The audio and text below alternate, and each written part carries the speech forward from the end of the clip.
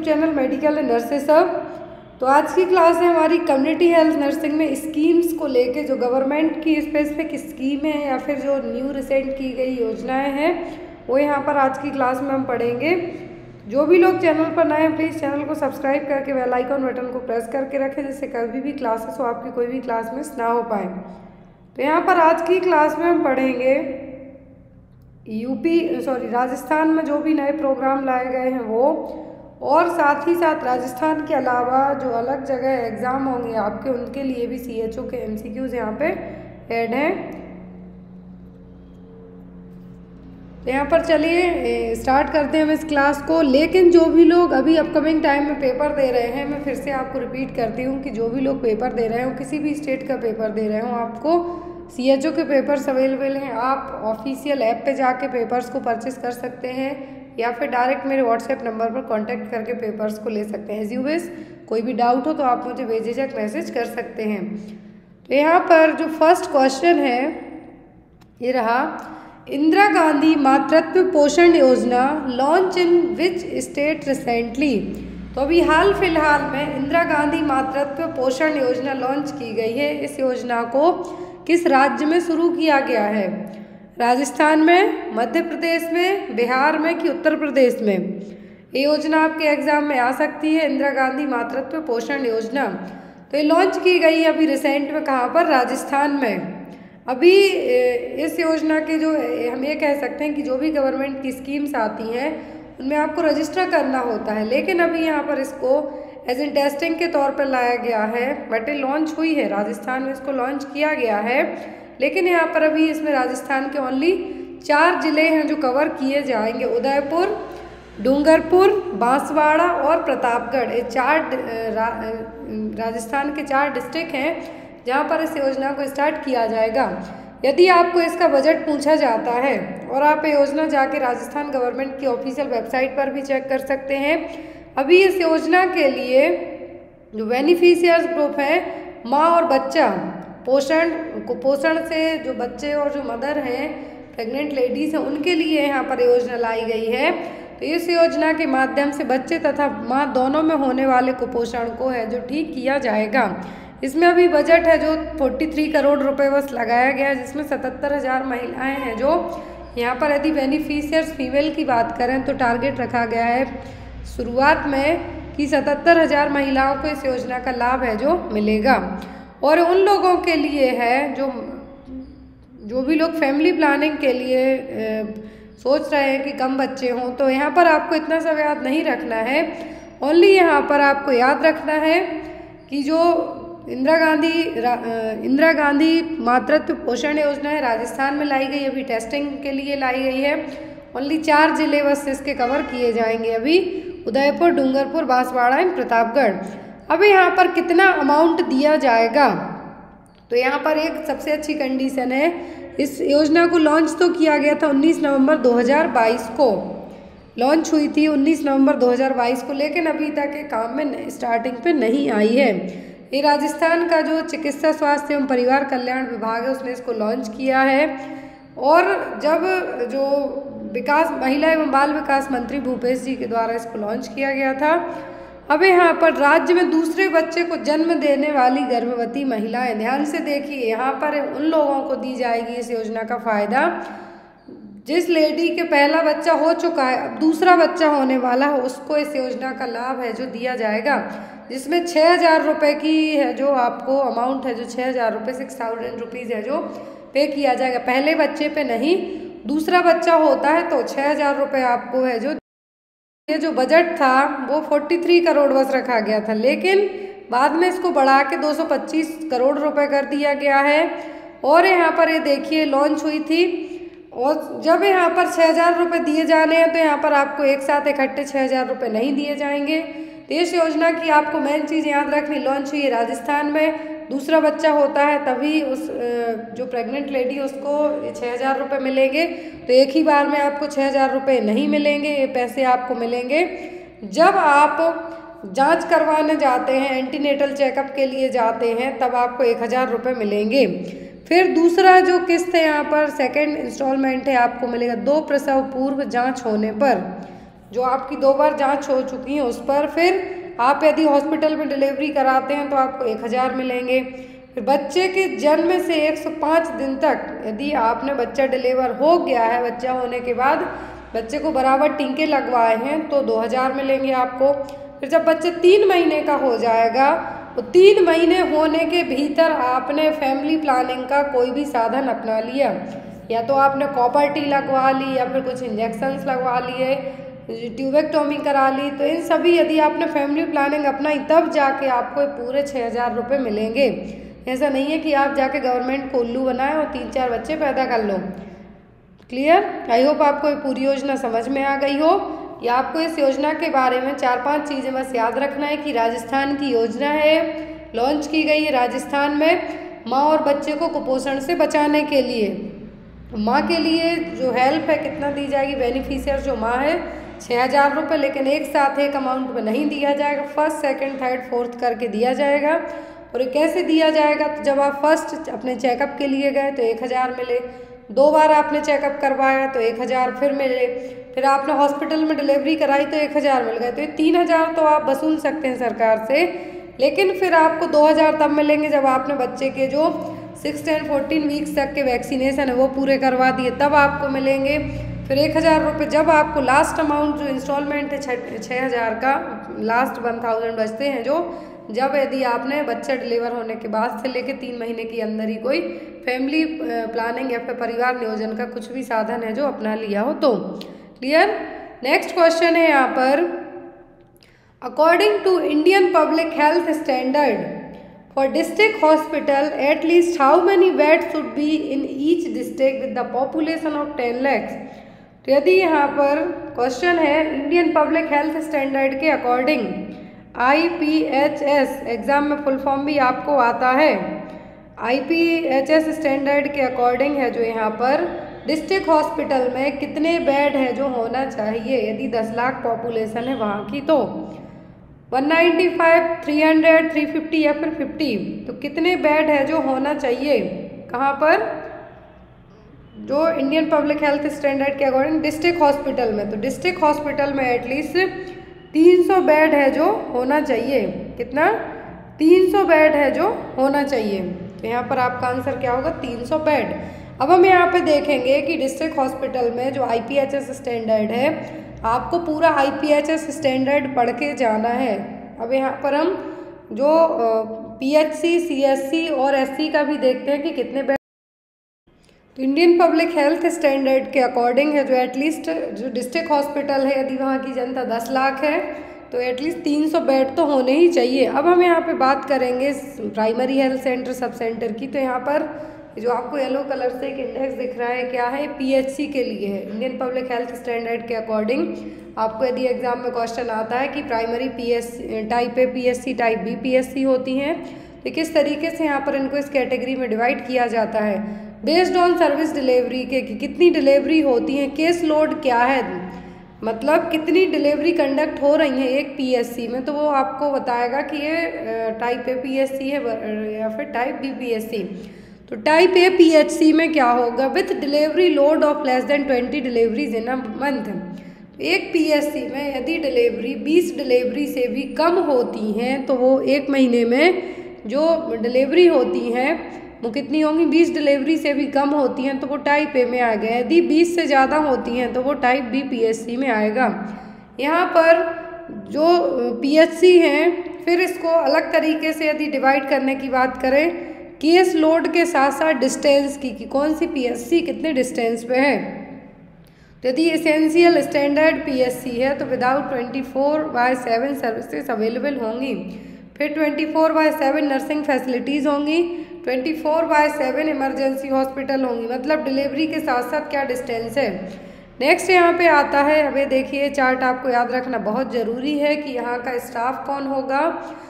तो sub centre, यदि population coverage के हिसाब से बात की जा रही है और यहाँ पर जो पॉपुलेशन दी हुई है, वो आपकी जितने भी हिली ट्रैवल एरिया यहाँ पर सबको मिला के दी गई है। मैक्सिमम पॉपुलेशन को काउंट करके यहाँ पे बताया गया है। एक्चुअल में सब सेंटर की जो पॉपुलेशन यदि हम काउंट करते हैं तो प्लेन एरिया की पाँच हज़ार, हिली ट्रैवल की तीन हज़ार, लेकिन मैक्सिमम पॉपुलेशन के अकॉर्डिंग सब सेंटर में यदि पाँच हज़ार पॉपुलेशन है तो यहाँ पर बेड्स की ज़रूरत नहीं पड़ती है। सिंगल या फिर एक या दो बेड होते हैं, वही काफ़ी है।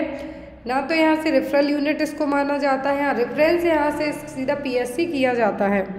यदि कुछ समझ में नहीं आता है तो आप सीधा पीएससी भेज सकते हैं, क्योंकि यहाँ का इम्पोर्टेंट स्टाफ कौन होता है? एएनएम वर्कर इसीलिए नावाडेज जितने भी सब सेंटर हैं, वहाँ पर एक एक सीएचओ को अपॉइंट किया जा रहा है। तो यहाँ पर तीस हज़ार पॉपुलेशन में bed capacity at least six bed होना चाहिए और एक पीएचसी छः सब सेंटर को कवर करेगा। ध्यान रखिए, एक पीएचसी छः सब सेंटर को कवर करेगा और पीएचसी की जो रेफरल यूनिट मानी जाती है, वो होता है सीएचसी यहाँ पर पीएचसी में एक डॉक्टर होना चाहिए। Three in the case of twenty four by seven P S C three staff nurse यहाँ का आपको जो पूरा एक तरीके से हम कह सकते हैं पॉपुले सॉरी जो स्टाफ है, वो आपको पता होना चाहिए स्टाफ इंफ्रास्ट्रक्चर क्या रहेगा, कितना स्टाफ होगा। फिर सी एच सी तो एक लाख बीस हज़ार पॉपुलेशन के दी है तो यहाँ पर एटलीस्ट तीस बेड होना चाहिए। एक सी एस सी तीन पी एस सी को कवर करेगा और इसका फिर रेफरल होता है ताल्लुक हॉस्पिटल तालुक का होता है डिस्ट्रिक्ट हॉस्पिटल। तो डिस्ट्रिक्ट हॉस्पिटल है जो जनरली यहाँ पर मिनिमम बेड कहें तो एटलीस्ट तीन सौ होना चाहिए। फिर बेस्ड ऑन पॉपुलेशन के यदि दस लाख से भी ज़्यादा पॉपुलेशन है तो यहाँ पर पॉपुलेशन के अकॉर्डिंग जैसा मैंने आपको स्टार्टिंग में कहा था कि ये फिर डिपेंड करता है पॉपुलेशन के हिसाब से। फिर डिस्ट्रिक्ट हॉस्पिटल में पूरे sub centre PSC CSC taluk hospital block level के जो भी हॉस्पिटल हैं, वो सभी मरीज़ यहाँ पर आते हैं। क्लियर हो गया आपको? आई होप आपको इसमें कोई भी कन्फ्यूज़न ना हो। और यहाँ पर यदि आपको कोई भी डाउट होता है तो आप मुझे मैसेज कर सकते हैं specially I N sorry I P H N I P H S survey को लेके।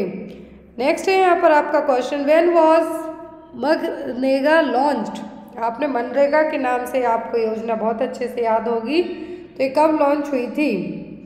ऑप्शन में है यहाँ पर 2004, 2005, 2006 या फिर 2002 में तो ये योजना लॉन्च कब की गई थी? Mahatma Gandhi national rural employment guarantee act Mahatma Gandhi national rural employment guarantee act तो इसको कब लॉन्च किया गया था? 2006 में। जनरली ये 2005 में आई थी लेकिन इसका फंक्शनिंग में स्टार्ट हो पाई थी 2006 में। यदि एक्ट पूछते हैं तो 2005 में इसके लिए पहले national rural employment guarantee act के नाम से जाना जाता था, जिसमें labour, Indian labour law and society, social security measure, जिसमें राइट टू वर्क सभी को काम करने का अधिकार है, जिसमें आई थिंक आपको साल के सौ दिन तक कुछ काम करना होगा। आप लोग एक बार इसको पढ़ लें। मैंने इसमें ओनली मनरेगा लॉन्च कब हुई हो किसके लिए? तो जो गरीब लोग, मजदूर लोग हैं, उनके लिए लॉन्च की गई थी योजना। Next one when was make in India initiative launch तो मेक इन इंडिया इनिशिएटिव कब लॉन्च हुआ था? दिसंबर 2013 में, मार्च 2014 सितंबर 2014 या फिर जून 2015 में। तो मेक इन इंडिया लॉन्च हुआ था सितंबर 2014 में। कब? सितंबर 2014 में इसको लॉन्च किया गया था। मेक इन इंडिया में जो सेल्फ रिलायंट कंट्री हमें अपने देश को, अपने देश की बनी हुई चीज़ों प्रोवाइड करवाने को लेके था तो यहाँ पर 25 सितंबर 2014 को लॉन्च किया गया था। लॉन्च किया था प्राइम मिनिस्टर नरेंद्र मोदी जी ने, जो कि बारहवीं पंचवर्षीय योजना चल रही थी। उस टाइम पे इसको लॉन्च किया गया था। लास्ट पंचवर्षीय योजना थी ये, जिसमें मेक इन इंडिया जो इनिशिएटिव लाया गया था। Next one the top priority of Janani Suraksha Yojana is जननी सुरक्षा योजना जे एस वाई स्कीम एक है जे एस एस की स्कीम जननी शिशु सुरक्षा योजना, यह जननी सुरक्षा योजना तो यहाँ पर इसका मेन प्रायोरिटी क्या है? टॉप प्रायोरिटी क्या है? Decrease the fertility rate reduce the birth rate reduction of MMR या फिर नन ऑफ़ दीज जननी सुरक्षा योजना की जो टॉप प्रायोरिटी है, वो है reduction of MMR maternal mortality rate को क्या करना है? कम करना है। वही हमें कैसे कम करना है? जननी सुरक्षा योजना के लिए हम क्या कह सकते हैं? सेफ़ मदरहुड इंटरवेंशन के नाम से भी जानेंगे। जो कि एनआरएचएम के थ्रू लाई गई स्कीम थी। 12 अप्रैल 2005 को इसके लिए लॉन्च किया गया था। और हम एमएमआर को कम कैसे करेंगे? मैटरनल मोर्टेलिटी रेट को हॉस्पिटल और इंस्टीट्यूशनल डिलीवरी को बढ़ावा देके। इसके तहत, इस योजना के तहत जो भी लोग हॉस्पिटल में डिलीवरी कराएगा, उसको कुछ अमाउंट भी दिया जाएगा। कैश असिस्टेंट प्रोवाइड करवाया जाएगा। रूरल एरिया में अमाउंट अलग है। जो रूरल एरिया है, वहाँ पे चौदह सौ रुपये दिए जाएँगे। और जो अर्बन एरिया की वूमेन है, उनको एक हज़ार रुपये रूरल एरिया में आशा वर्कर को आशा वर्कर का अमाउंट यदि आपको एग्ज़ाम में आता है, क्योंकि वही आपको हॉस्पिटल लेके जाएँगे यहाँ पे तो आपको आशा वर्कर का पूछते हैं, जो रूरल एरिया है तो वहाँ पर छः सौ रुपये फ़र्स्ट टू डिलीवरी में। यदि तीसरा बच्चा होता है तो चार सौ, और चौथा डिलीवरी होती है तो दो सौ रुपये पाँचवीं डिलीवरी के बाद आपको कुछ भी नहीं मिलेगा। अर्बन एरिया में आशा वर्कर को ओनली टू हंड्रेड रुपीज़ है, जो दिए जाएँगे। और ये यहाँ पर जो आपका अमाउंट है, आपको सीधा चेक के थ्रू आपके बैंक में जाएगा। चेक दिया जाएगा, आप उसको बैंक में जाके है जो पैसे निकाल सकते हैं। तो जननी सुरक्षा योजना का मेन एम था एमएमआर को कम करना और कम कैसे करना? इंस्टीट्यूशनल डिलीवरी को बढ़ावा देना। बढ़ावा देने के साथ साथ माँ के लिए और जो आशा वर्कर आपको लेके जाएगी, उसको अमाउंट है जो प्रोवाइड करवाया जाएगा। अब यहाँ पर आपको लो परफॉर्मिंग स्टेट और हाई परफॉर्मिंग स्टेट भी आता है तो मैंने आपको पढ़ाया हुआ है तो आप लोग उसको भी एक बार पढ़ लेना। Next one in which year N R H M was launch in India national rural health mission India में कब लॉन्च हुआ था? 2005 में 2008, 2004 या फिर 2007 तो national rural health mission India में लॉन्च किया गया था 2005 में। इसमें 2005 में एग्ज़ाम में एनआरएचएम का क्वेश्चन आता है। नेशनल अर्बन हेल्थ मिशन आता है, नेशनल रूरल हेल्थ मिशन आता है। नेक्स्ट है यहाँ पर most important question N F H S stand for तो एन एफ़ एच एस का फुल फॉर्म क्या है?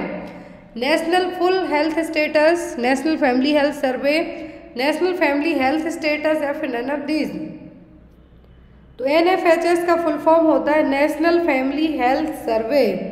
क्या है? नेशनल फैमिली हेल्थ सर्वे हर तीन साल में इसको कंडक्ट किया जाता है बट कुछ रीजन से कंटिन्यूस नहीं हो पा रहा और यदि अभी तक का पूछें 2021 तक पाँच बार एनएफएचएस कंडक्ट हो चुका है। पाँच बार एनएफएचएस कंडक्ट हो चुका है, जिसमें यहाँ पर जो नेशनल फैमिली हेल्थ सर्वे किया जाता है इसमें तो यदि फ़र्स्ट की बात करते हैं हम तो पहला एन कंडक्ट करवाया गया था उन्नीस सौ बानवे से उन्नीस सौ तिरानवे के बीच में। दो दो फ़ेज़ में किया जाता है, इसलिए यहाँ पर बानवे से तिरानवे है 1992 टू 1993 फिर सेकंड हुआ था 1998 से लेकर 1999 तक, उन्नीस सौ अट्ठानवे से उन्नीस सौ निन्यानवे तक।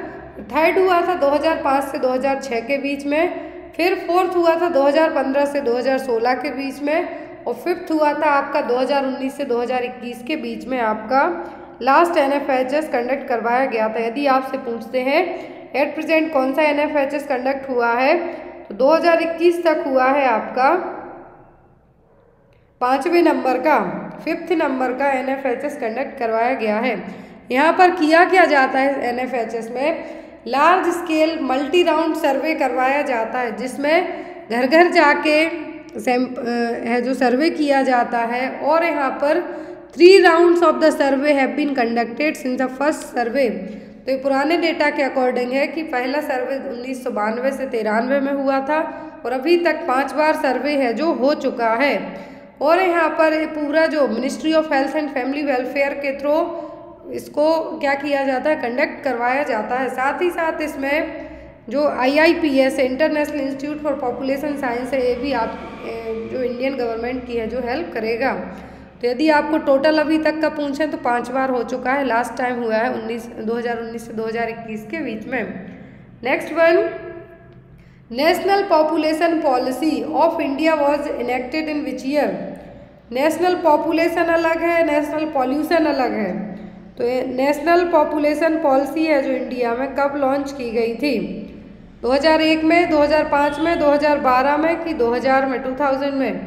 नेशनल पॉपुलेशन पॉलिसी है जो इंडिया में लॉन्च की गई थी 2000 में 2000 में एनपीपी सेंट्रल गवर्नमेंट ने इसको लॉन्च किया था। सेकंड पॉपुलेशन पॉलिसी थी इंडिया की, जिसमें कॉन्ट्रासेप्टिव मेथड को बढ़ावा देना, हेल्थ पर्सन हेल्थ अवेयरनेस के प्रति जागरूकता फैलाना है, डिलीवरीज और रिप्रोडक्टिव चाइल्ड हेल्थ केयर के लिए क्या करना है हमें? और ज़्यादा इनिशिएटिव लेना है नेशनल पॉपुलेशन पॉलिसी के तहत। यदि यहाँ पर इसका ड्राफ्ट फॉर्म पूछें तो ये आया था उन्नीस सौ छिहत्तर में।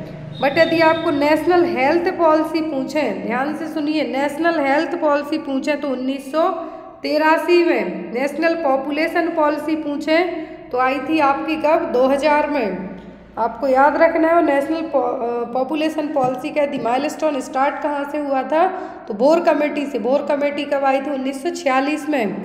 फिर फैमिली प्लानिंग प्रोग्राम इसी से रिलेट करते हुए वो मैं यहाँ पे आपको ऐड कर देती हूँ जिससे समझ में पॉलिसी को लेके आपको यदि एग्ज़ाम में क्वेश्चन आते हैं तो दो तीन पॉइंट्स याद रखना है कि 2045 तक यदि इसका जो लॉन्ग टर्म गोल पूछते हैं आपसे नेशनल पॉपुलेशन पॉलिसी का 2000 में आई 2000 में आई है इसका गोल था कि 2045 तक हमें 2045 तक क्या करना है? एक सस्टेनेबल पॉपुलेशन को अचीव करना है।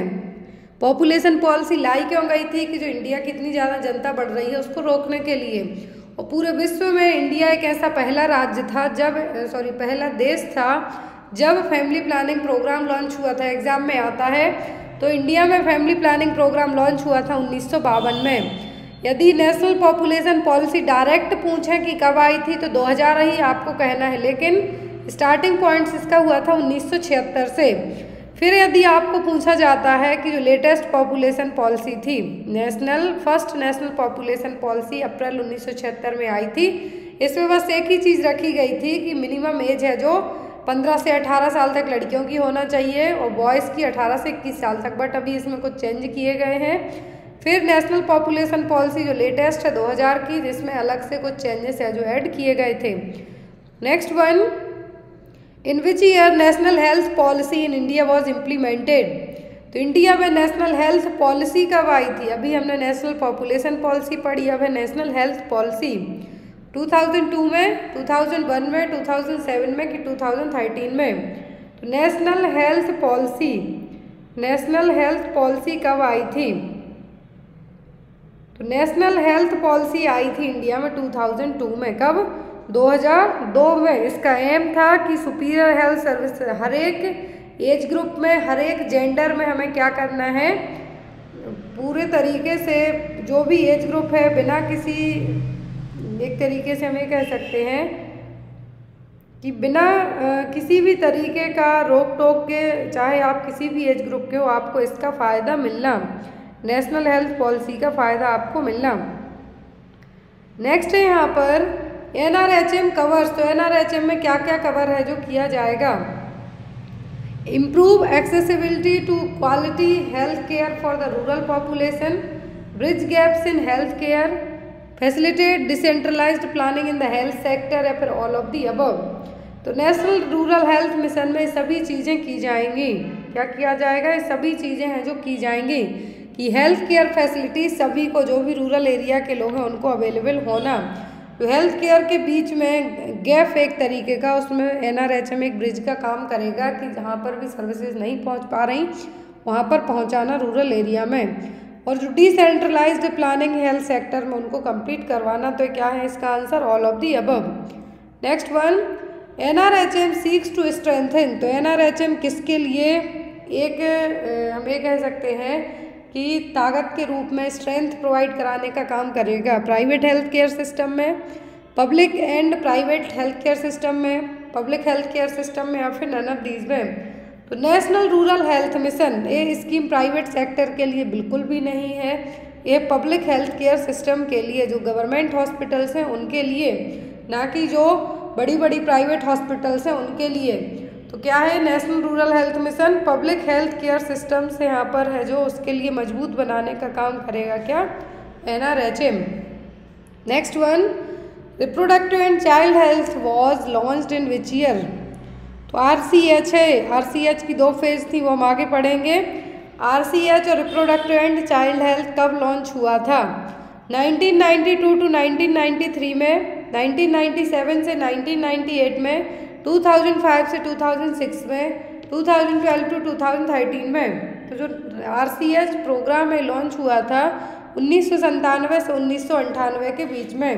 अब इसकी हम दोनों फ़ेज़ देखते हैं आर फ़र्स्ट एंड सेकंड दोनों एग्ज़ाम में चाइल्ड हेल्थ बस पूछें तो 19 सेवन से 1998 के बीच में लॉन्च हुआ था। अब यहाँ पर इसके कंपोनेंट्स क्या थे, वही एग्ज़ाम में आते हैं। तो आर सी एच की फ़ेज़ फ़र्स्ट रही है फ़ेज़ टू रही है। तो R C H first phase के कंपोनेंट अलग हैं सेकंड के अलग हैं। तो यहाँ पर आर सी एच फ़र्स्ट में जो की कंपोनेंट्स है, वो यहाँ पे देखिए, दिए हुए हैं फ़र्स्ट के। Child survival and safe motherhood C C C S S M programme था। एडोलेसेंट हेल्थ को कवर किया गया। प्रिवेंशन ऑफ़ पार्टिया reproductive tract and sexually transmitted disease family planning and health planning तो यहाँ पर दो तरीके के थे। एक थे क्लाइंट सेंटर्ड अप्रोच दूसरा कम्युनिटी पार्टिसिपेशन इन दोनों को मिला के है जो R C H reproductive and child health है। यहाँ पर नाम से ही आप समझ सकते हैं कि इसका फ़ायदा किस किस को मिलेगा।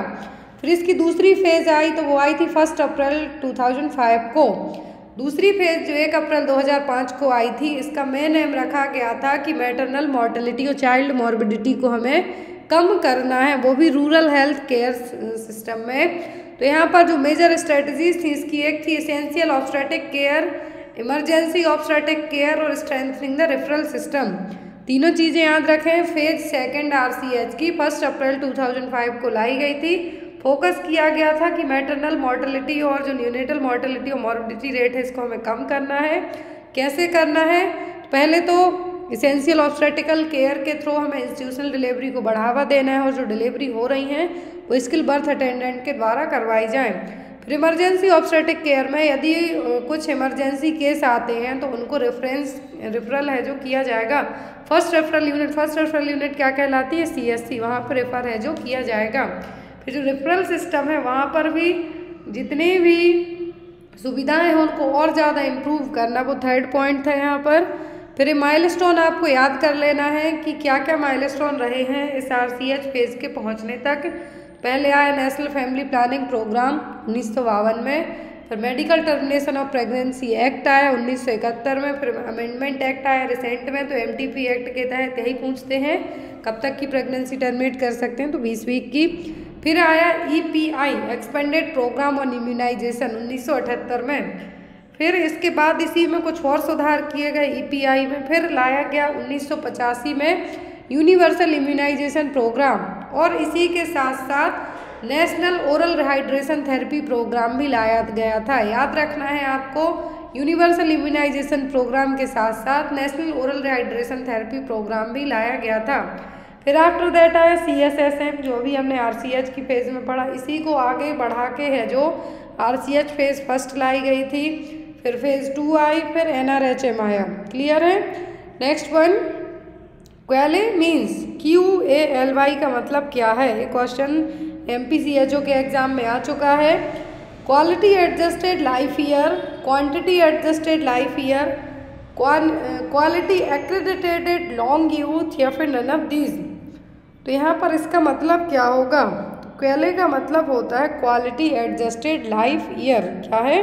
क्वालिटी एडजस्टेड जो डेले है, आपको आया था डेले एमपी व्यापक में अभी रिसेंट में जो पेपर हुआ है, इसी साल अभी एट प्रेजेंट कुछ दिन पहले ही आंसर कीज भी आ गई उनकी, और एक आता है डेलिस। तो पहले पूछे तो quality adjusted life year DALYs का मतलब है कि डिसेबिलिटी एडजस्टेड लाइफ ईयर तो जो QALYs standard in cost effectiveness analysis के लिए इसको यूज़ किया जाएगा। जो भी डिसेबिलिटीज़ हैं, उनको लेके यहाँ पे यूज़ किए जाएँगे। तो यहाँ पर आपको एक बार पूरा खुद से ही पढ़ना है, क्योंकि मेनली इनके फुल फॉर्म बस आपको एग्ज़ाम में आते हैं यदि वो पता है तो इतना ही आपके लिए काफ़ी है। नेक्स्ट है यहाँ पर the number of death per one thousand people per year means number of death per one thousand people per year का मतलब क्या है? बर्थ रेट है आईएमआर है डेथ रेट है कि नन ऑफ़ दीज है? तो ये क्या कहलाएगा? तो ये कहलाएगा डेथ रेट क्या है? Death rate number of death किसी स्पेसिफिक कारण से, कुछ जनरल रीजन से यदि डेथ हो जाती है सिलेक्टेड पॉपुलेशन जो यहाँ पे बताई गई है उसमें तो क्या कहलाएगा? Death rate next one probability of dying between birth and exactly five year of age expressed per one thousand live birth तो यहाँ पर क्या होगा? प्रोबेबिलिटी ऑफ़ डाइंग मतलब मरने के चांसेस हैं। जन्म से लेके पाँच साल तक की एज ग्रुप में अंडर फाइव ईयर एज में per one thousand live birth में तो ये क्या है? बर्थ रेट है। अंडर फाइव मॉर्टेलिटी रेट है। डेथ रेट है कि नन ऑफ़ दीज ये चीज़ क्या है? तो यहाँ पर साफ़ साफ़ कहा है बर्थ से लेके पाँच साल तक में मतलब अंडर फाइव हो गया है। पाँच साल के पहले ही ज़ीरो से फाइव ईयर के बीच में यदि जो बच्चे की डेथ होती है तो वो किसमें आएगा? यदि वन ईयर तक होती है तो वो इन्फेंट मोर्टिलिटी रेट में आए क्लियर लेकिन यहाँ पे कहा है फाइव ईयर्स तक में तो वो कहलाएगा अंडर फाइव मोर्टिलिटी रेट क्या है under five mortality rate next one probability of dying between birth and exactly one year of age express per one thousand life birth अभी हमने बताया कि पाँच साल तक में। फिर है यहाँ पर dying between birth and exactly one year of age question ध्यान से समझिए। पहले था कि पाँच साल तक के एज ग्रुप में, फिर एक साल तक की एज ग्रुप में तो वो क्या कहलाएगा? Per one thousand life birth में। Birth rate I M R death rate की नन ऑफ़ दीज तो ये कहलाएगा आपका इन्फेंट मोर्टेलिटी रेट हर एक स्टेट की अलग अलग इन्फेंट मोर्टेलिटी रेट है। एस आर एस डेटा के अकॉर्डिंग तो आपको एक बार है जो पढ़ लेना है। As compare to previous data के, इस बार का डेटा थोड़ा सा चेंजेस है तो आपको याद रखना है। Next one the number of maternal death per one thousand women of reproductive age in the population generally defined as fifteen to forty four years of age means यदि मदर की डेथ होती है one thousand women of reproductive age में तो क्या कहलाएगा? Maternal mortality rate, infant mortality rate, child mortality rate, की none of these ये कहलाएगा एम एम आर एग्ज़ाम में एम एम आर का डिनोमिनेटर नोमिनेटर दोनों पूछे जाते हैं। नेक्स्ट क्वेश्चन है आपके लिए। The sum of neonatal deaths and fetal deaths fetal death का मतलब स्टिल बर्थ मतलब यूट्रस में ही बेबी की डेथ हो जाए। Per one thousand birth sum of neonatal death जो न्यूनेट बेबी हैं, उनकी डेथ और फीटल डेथ को मिला के यदि एक हज़ार पॉपुलेशन में जो डेथ होती, जन्म होने के बाद जितनी भी काउंटिंग निकल के आती है, वो क्या है? एम एम आर है पेरीनेटल मॉर्टिलिटी रेट है आई एम आर है कि नन ऑफ़ दीज है? तो ये क्या है? ये कहलाएगा पेरीनेटल मॉर्टेलिटी रेट क्या है? Perinatal mortality rate mortality rate का मतलब मोर्टलिटी का मतलब तो होता है डेथ अब ये देखिए, यहाँ पर आपको इजीली क्लियर हो जाएगा. फीटल डेथ फीटल डेथ का मतलब इंट्रा यूट्राइन डेथ और स्टिल बर्थ मतलब बेबी यूट्रस में ही, गर्भाशय में ही उसकी डेथ हो गई हो. एटलीस्ट ट्वेंटी वीक्स का जेस्टेशनल पीरियड रहा हो और कोई भी साइन ना हो कि ये जन्म के बाद है जो बचेगा या नहीं. या फिर हम ये कह सकते हैं स्टिल बर्थ तो क्या होगा फीटल डेथ न्यूनेटल डेथ जन्म लेने से लेकर 28 दिन तक यदि बेबी की डेथ हो जाती है within twenty eight days के तो वो कहलाएगा न्यूनेटल डेथ फिर आता है पेरीनेटल डेथ पेरीनेटल डेथ का मतलब है sum of fetal and neonatal death per one thousand life birth best indicator है पेरीनेटल केयर के लिए यदि हम कहें तो वो क्या है? फीटल डेथ न्यूनेटल डेथ और पेरीनेटल डेथ तो यहाँ पर सम ऑफ़ फीटल डेथ मतलब जो 20 वीक तक का जेस्टेशन पीरियड रहा है, उसमें या तो डेथ हुई हो और न्यूनेटल डेथ इन दोनों को जोड़ के जो इंडिकेटर निकल के आएगा, वो कहलाता है पेरीनेटल डेथ फिर इन्फेंट मोर्टलिटी रेट है तो वही number of death per one thousand that occur in the first year of life दी एक हज़ार पॉपुलेशन एक हज़ार बच्चे उन्हें जन्म लिया है, उनमें से एक साल के बीच में जो डेथ होती है वन ईयर से कम एज के बच्चों की तो वो है I M R under five होता है तो under five mortality rate maternal है फिर? Next one the sum of the age specific birth rate five year age group between ten and forty nine for female residents of a specified geographical area during specified time period तो क्या कहला गया देखिए, कहा है sum of the age specific birth rate age specific birth rate है जिसमें 10 से 19 साल तक का एज ग्रुप है जो इंक्लूड किया गया है, वो भी फीमेल का। तो ये क्या है? क्रूड डेथ रेट है, बर्थ रेट है, टोटल फर्टिलिटी रेट है कि नन ऑफ़ दीज है? तो क्या है? ये कहलाएगा आपका टी एफ़ आर और total fertility rate. At present India का टी एफ़ आर यदि आपको एग्ज़ाम में पूछते हैं तो वो है टू। कितना? टू। जो नेशनल लेवल पर जो जो एस आर एस के थ्रू और जो N F H S survey national family planning का जो सर्वे है फोर और फिफ्थ उसके अकॉर्डिंग जो अभी एट प्रेजेंट में डिक्लाइन हुआ है पहले 2.2 था बट अभी 2 है। आपको याद रखना है टीएफआर कितना है? दो है जो बचा हुआ है। नेक्स्ट यहाँ पर है टोटल फर्टिलिटी रेट को कैलकुलेट कैसे करना है? तो ये रहा an estimated number of children born to each female of birthing age पंद्रह से पैंतालीस साल तक की एज ग्रुप एज रही है फीमेल की। इस एज ग्रुप में जो बच्चे जन्म लेते हैं टोटल फर्टिलिटी के लिए नंबर ऑफ़ चिल्ड्रन बॉर्न अब कितने बच्चे हुए हैं और कितनी वुमेन की एज पंद्रह से पैंतालीस साल तक रही है? तो यहाँ पर उसको कैलकुलेट करके क्या निकाला जाएगा? T F R total fertility rate next one millennium development goals target of maternal mortality rate in India is तो जो मिलेनियम डेवलपमेंट गोल है तो इसके अकॉर्डिंग एक पढ़ा है हमने सस्टेनेबल डेवलपमेंट गोल एग्ज़ाम में आपको रखे हुए मिलते हैं दो दो क्वेश्चन तक एसडीजी से. ऐसे ही यहाँ पर millennium development goal millennium development goal के अकॉर्डिंग एमएमआर हमें इंडिया की कितनी अचीव करनी है? मिलेनियम डेवलपमेंट गोल में टोटल आठ गोल हैं। एसडीजी में वह जो अलग हैं तो यहाँ पर यदि आपको एसडीजी पूछा तो इसमें सत्रह गोल हैं, लेकिन मिलेनियम डेवलपमेंट गोल में ओनली एट गोल्स हैं। तो यहाँ पर इसके अकॉर्डिंग हमें एमएमआर कितनी अचीव करनी है? 103 अकॉर्डिंग टू 2019 के डेटा के। 2019 का जो डेटा है, उसके अकॉर्डिंग कितना टारगेट है एमएमआर का इंडिया का? 103 और जो इसके आठ गोल हैं मिलेनियम डेवलपमेंट गोल के, वो कौन कौन से हैं? Eradicate extreme poverty and hunger achieve universal primary education promote gender equality reduce child mortality improve maternal health combat H I V AIDS malaria and other disease ensure environmental sustainability and development का पूरे जो पाँच गोल हैं उनके बीच में हमें sorry सात गोल हैं उनके बीच में पार्टनरशिप करके सभी को अचीव करने में हेल्प करना है। Next one the state of being diseased और unhealthy within a population means ऐसी स्टेट जिसमें आप बीमार हो या फिर कोई अनहेल्दी सिचुएशन हो तो, तो वो क्या कहलाएगा? मोर्टलिटी मॉर्बिडिटी फर्टिलिटी या फिर नन ऑफ़ दीज तो मॉर्टेलिटी का मतलब तो होता है सीधा डेथ मरना. मॉर्बिड का मतलब होता है डिसीज कंडीशन तो वो क्या हो गई? मॉर्बिडिटी फर्टिलिटी का मतलब होता है ऐसा एज ग्रुप जो कंसीव करने की क्षमता रखता हो रिप्रोडक्टिव एज ग्रुप में हो, वो कहलाएगा फर्टिलिटी तो यहाँ पर कहा डिसीज और अनहेल्दी कंडीशन तो उसको हम क्या कहेंगे? मॉर्बिडिटी नेक्स्ट क्वेश्चन है।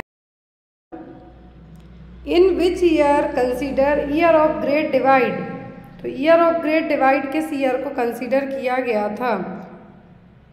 ऑप्शन में है यहाँ पर उन्नीस सौ इक्यासी, उन्नीस सौ इक्कीस, अठारह सौ इक्यानवे या फिर उन्नीस सौ इकसठ, nineteen eighty one, nineteen twenty one, eighteen ninety one, nineteen sixty one.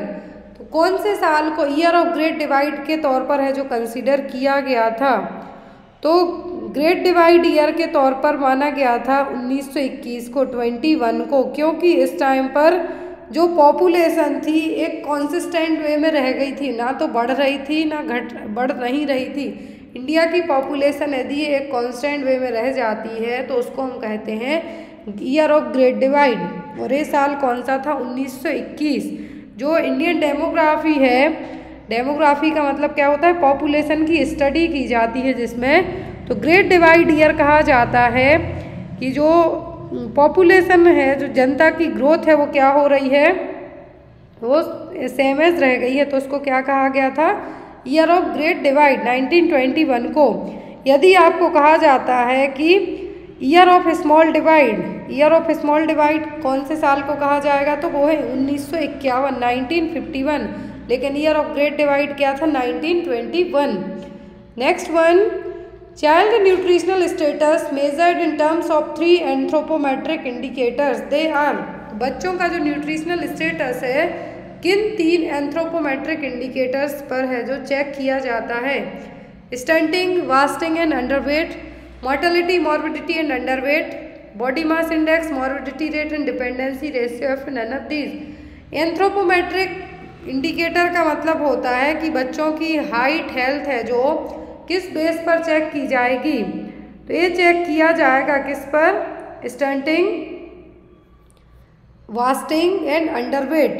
क्या है? स्टंटिंग। स्टंटिंग का मतलब होगा कि जो बॉडी की ग्रोथ है वो क्या हो जाए? स्टॉप हो जाए। एक ही जगह फिक्स होके रह जाए, ना तो वज़न बढ़े, ना हाइट बढ़े। फिर आता है वास्टिंग। वास्टिंग का मतलब होता है कि जो चीज़ आपकी बॉडी में एक तरीके से हम ये कह सकते हैं कि जितने हो आप उतने पर ही स्टॉप हो जाओ अंडर वेट जो आपका एज है, उसके अकॉर्डिंग आपका वज़न ना बढ़ना। तो हाइट वेट और आपका एज के अकॉर्डिंग हाइट और वेट दोनों ना बढ़ना। तीनों चीज़ें किसके कंपोनेंट से हैं? एंथ्रोपोमेट्रिक मेज़रमेंट में आएँगे आपके बच्चे के न्यूट्रिशनल स्टेटस के लिए। फिर इसमें आपका mid upper arm circumference check किया जाएगा। साकिर टेप यूज़ किया जाता है इसके लिए। फिर बच्चे की हाइट क्या है? क्योंकि इन्हीं सब चीज़ों को चेक करके बच्चों में हम कुपोषण से बचा सकते हैं न्यूट्रिशनल डेफिशिएंसी से बचा सकते हैं। Next one eligible couple register is maintained at तो जो एलिजिबल कपल रजिस्टर कहाँ पर मेंटेन किया जाता है? सब सेंटर में प्राइमरी हेल्थ सेंटर में पीएचसी में कि डिस्ट्रिक्ट हॉस्पिटल में। तो एलिजिबल कपल एलिजिबल कपल कौन कहलाते हैं? जो फर्टाइल एज ग्रुप के कपल हों फीमेल और मेल दोनों। अब यहाँ पर ये रजिस्टर कहाँ मेंटेन किया जाएगा? सब सेंटर में। सब सेंटर की बात आती है तो पॉपुलेशन सबको पता है। यहाँ की किट हैं जो एग्ज़ाम में पूछी जाती हैं। तो सब सेंटर में किट ए बी सी तीनों दी जाती हैं। यदि किट डी पूछते हैं तो वो पीएससी में दी जाती है। फिर फ़र्स्ट रेफरल यूनिट की किट अलग है। तो फ़र्स्ट रेफरल यूनिट क्या है? वो है C H C community health centre community health centre में E F G H I J K L M N O P kit दी जाती हैं तो क्यों दी जाती हैं? यहाँ पे आपको किट एफ़ पूछें तो मिनी लेप्रोटोमी सेट है किट ई पूछें तो लेप्रोटोमी सेट है। आई यू डी इंसर्ट करने के लिए किट जी रहेगी। वेसिकटोमी के लिए किट एच है। नॉर्मल डिलीवरी के लिए कौन सी किट यूज़ करेंगे हम सी एच सी में? तो वो होगा kit I next one Three tier system of healthcare delivery in rural area in India is based on recommendation of three tier system India में लाया गया था हेल्थ केयर डिलीवरी सिस्टम है जो कि रूरल एरिया में। तो इसको किसने रिकमेंड किया था? भोर कमेटी ने चड्डा कमेटी ने श्रीवास्तव कमेटी ने कि बुतलियार कमेटी ने।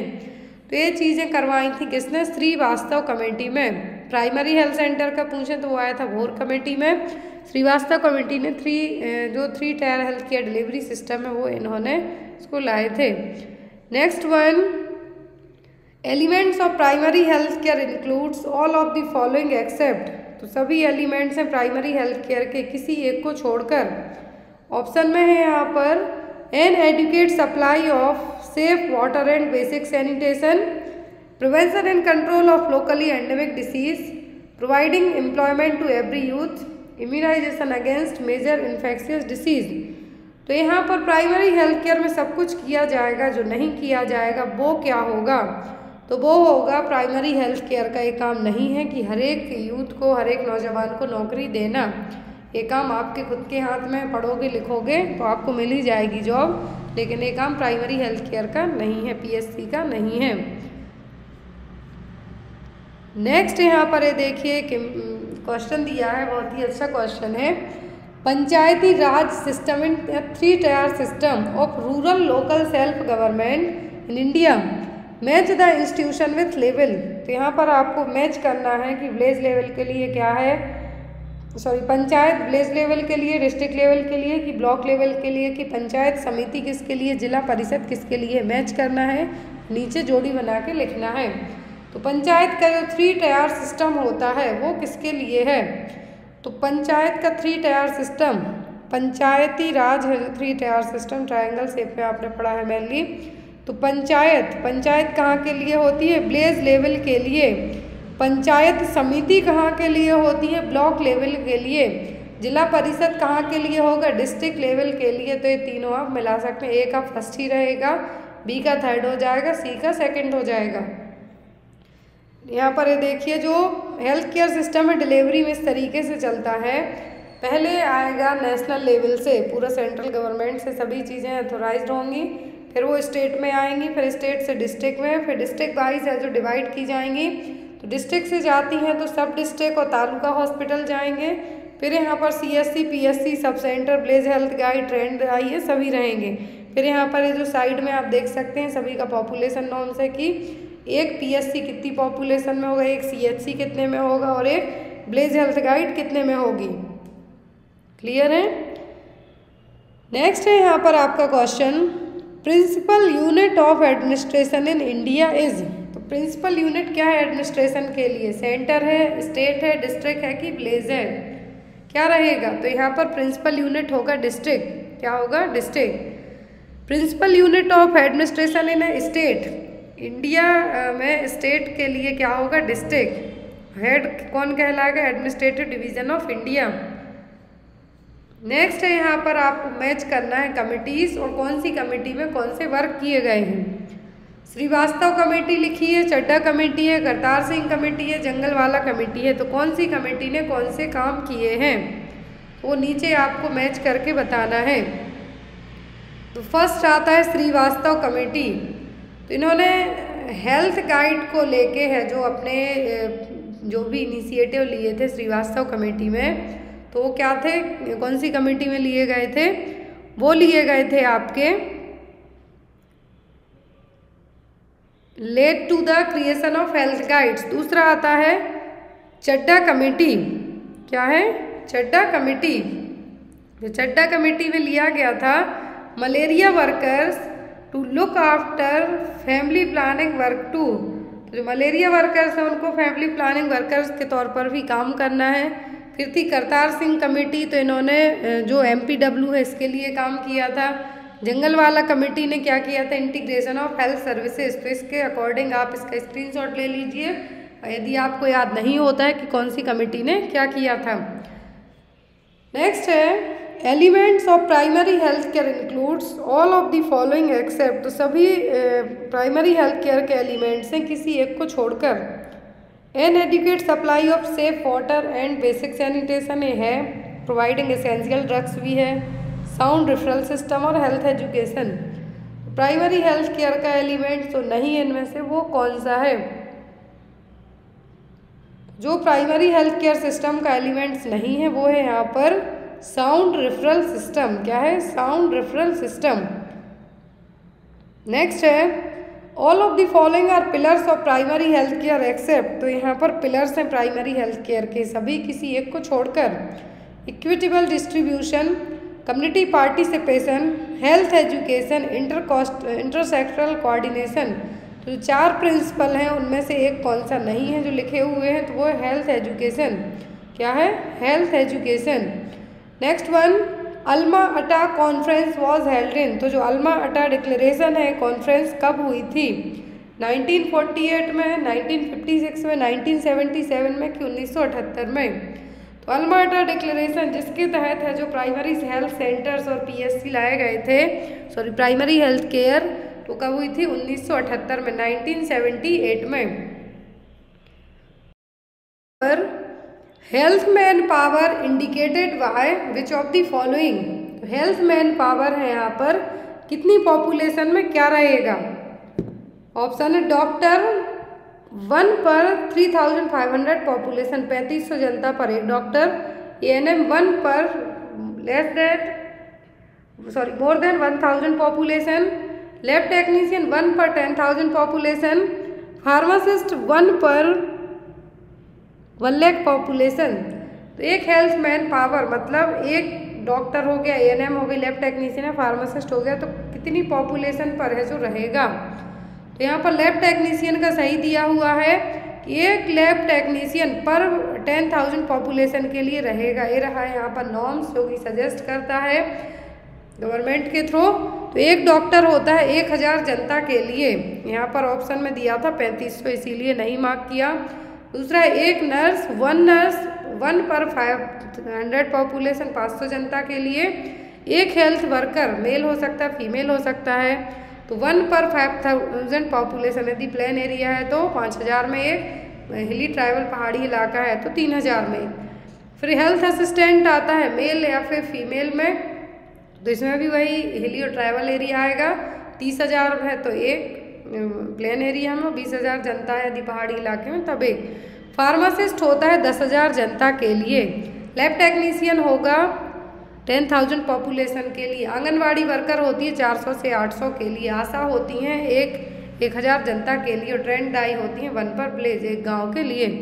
तो ये हो गया population norms next one function of P S C are primary health centre के क्या फ़ंक्शन है? रेफरल सर्विसेज़ प्रोवाइड कराना फैमिली प्लानिंग और रेफरल सर्विसेज़ देना बेसिक लेबोरेटरी सर्विसेज़ प्रोवाइड कराना कि ऑल ऑफ़ दीज तो यहाँ पर सभी सर्विसेज़ प्रोवाइड करवाई जाएँगी पीएचसी में। सभी सर्विसेज़ प्रोवाइड करवाई जाएँगी। अलमाटा डिक्लेरेशन के तहत टोटल जो एटलीस्ट टेन सर्विसेज़ दी जाती हैं, वो हैं मेडिकल केयर एम जिसमें फैमिली प्लानिंग भी होगी safe water supply and sanitation prevention and control of locally endemic disease collection and reporting of vital statics vital statics का मतलब होगा कि जो भी डेथ रेट हो गई, बर्थ रेट हो गई, आई एम आर हो गई, अंडर फाइव मॉर्टिलिटी रेट, पूरा वाइटल स्टैटिक्स कलेक्ट करके रिपोर्ट बनाना, हेल्थ एजुकेशन देना, नेशनल प्रोग्राम्स, जो हेल्थ प्रोग्राम्स, उनके बारे में बताना, रेफरल सर्विसेज़ देना, ट्रेनिंग प्रोवाइड कराना, हेल्थ वर्कर को, लोकल दाइज को, और बेसिक लेबोरेटरी सर्विसेज़ प्रोवाइड करवाना। तो बेसिक क्या है? इंडिया में फ़ंक्शन है प्राइमरी हेल्थ के सेंटर्स के। Next one, functions of female health worker include. तो फीमेल हेल्थ वर्कर का क्या काम है? Visit four sub centre per month, collection of a blood sample, conduct fifty percent delivery, chlorination of water. तो female health worker का काम है कि एटलीस्ट 50 परसेंट डिलीवरीज को कंडक्ट करवाना। क्या करवाना? हेल्प करवाना। Next one all of the following are state responsibility for health except तो सभी स्टेट की एक राज्य की ज़िम्मेदारी है हेल्थ को लेके किसी एक को छोड़कर। Vital statics promotion of research through research center and their health bodies prevention of adulteration prevention of communicable disease एक जो राज्य सरकार है, वो क्या काम, सब काम करेगी किसी एक को छोड़कर? तो राज्य सरकार जो स्टेट गवर्नमेंट है वाइटल स्टेटिक्स कलेक्ट करवाएगी। एडल्ट्रेशन मिलावट हो रही है तो उसमें हेल्प करेगी कि उसको बचाया जा सके मिलावट से। सभी चीज़ों से कोई भी सामान बिक रहा हो मिलावटी तो कम्युनिकेबल डिसीज़ को प्रिवेंट करने का काम करेगी। लेकिन जो रिसर्च हो रही है रिसर्च सेंटर में और जो अलग अलग जगह रिसर्च हो रही है, वो काम करना health state sorry state government का काम नहीं है। Next one which of the following is a new concept in primary health care तो प्राइमरी हेल्थ केयर का भी नया कॉन्सेप्ट आया है तो वो क्या है?